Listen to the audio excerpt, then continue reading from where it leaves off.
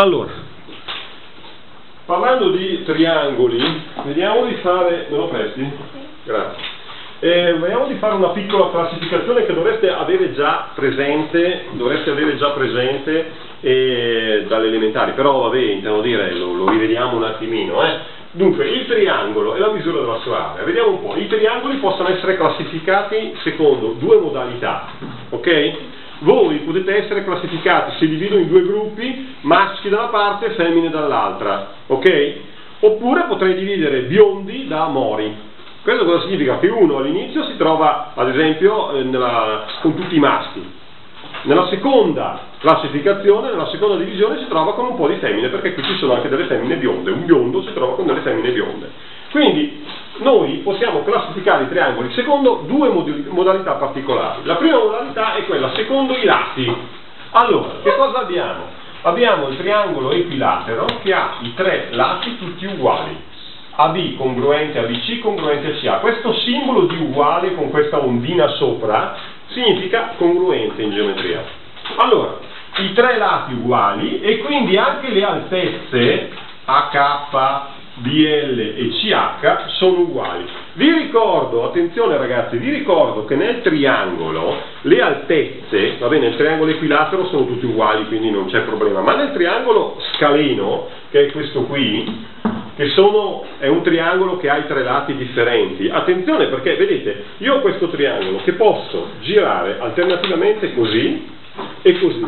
È la stessa figura, non cambia assolutamente niente, è lo stesso triangolo, badate bene. Non ho tagliato o aggiunto qualcosa, la stessa area. Ma attenzione, perché se io lo guardo così, la base è questa e questa è l'altezza.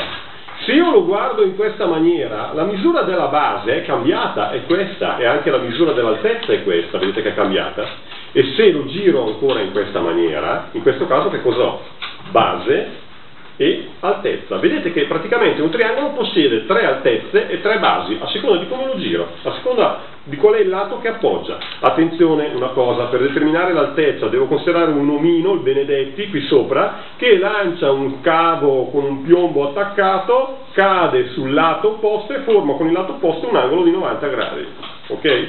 In tutti i casi le altezze formano con il lato opposto angoli di 90 gradi. Bene, ri, eh, riassunto un attimo questo aspetto, ripreso un attimo questo aspetto, il triangolo equilatero è questo a tutti e tre i lati uguali, vedete che ci sono sbarre, due sbarrette su ogni lato, poi abbiamo il triangolo isoscele che ha due lati uguali, questo AC e CB sono congruenti e quindi queste due altezze sono congruenti, BH e AK. Naturalmente questa altezza relativa alla base non è, non è uguale alle altre due.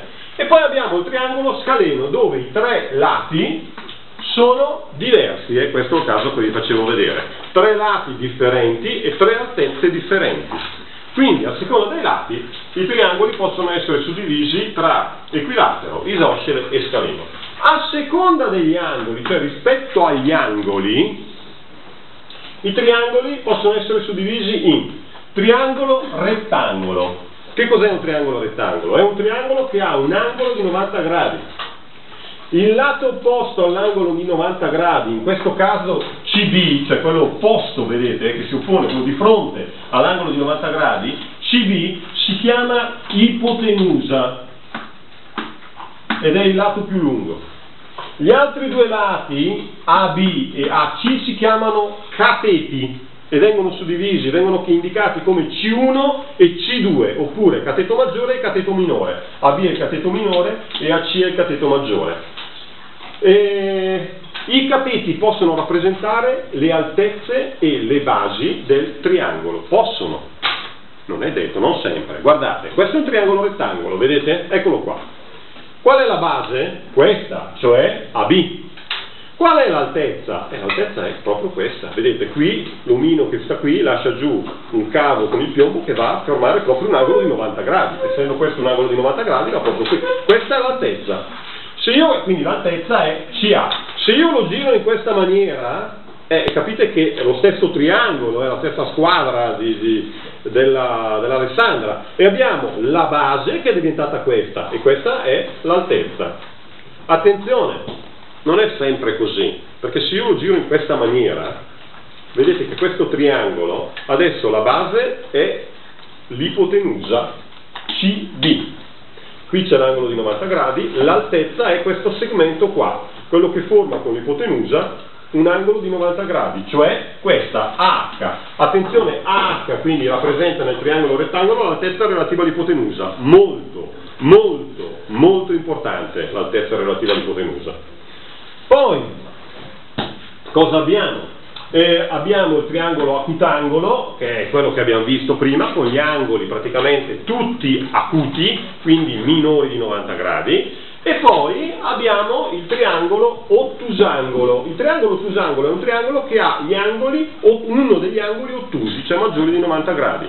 Attenzione, se voi notate, tutte le altezze di tutti i triangoli si incontrano in un punto sempre questo punto non è detto che sia interno al triangolo, può essere esterno, vedete come nel caso del triangolo eh, ottusangolo. Questo punto si chiama ortocentro, il punto dove si incrociano tutte le altezze, ad esempio nel triangolo rettangolo di qui e questo, si chiama ortocentro. Ortocentro.